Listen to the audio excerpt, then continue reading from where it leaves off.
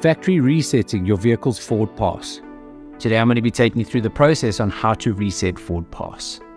Firstly, turn your ignition on, go to your infotainment system, select the vehicle tab on the top right, select the setting option, scroll down on the left side of the screen to general, and at the bottom of the screen you'll see an option to reset, giving you two options. Either to reset your Ford Pass or reset the full infotainment system. We're going to select Ford Pass Reset, select Confirm, and your Ford Pass has been reset.